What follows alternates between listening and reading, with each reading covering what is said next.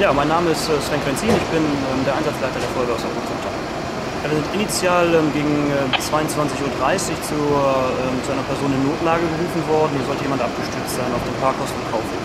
Das ist so gewesen. Wir hatten zunächst Schwierigkeiten, Zutritt zu der Ebene zu bekommen, aber es haben sich Jugendliche bemerkbar gemacht und einer der Jugendlichen war auch abgestürzt.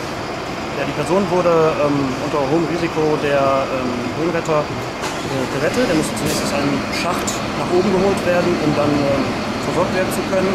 Da hat sich Knochenbrüche zugezogen und dem Weg ins Krankenhaus.